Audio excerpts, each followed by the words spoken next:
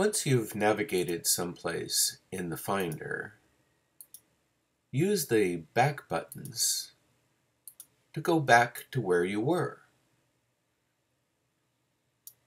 Use the forward arrow to go forward to where you've been. Hold the Command key down and click the title to see where you are.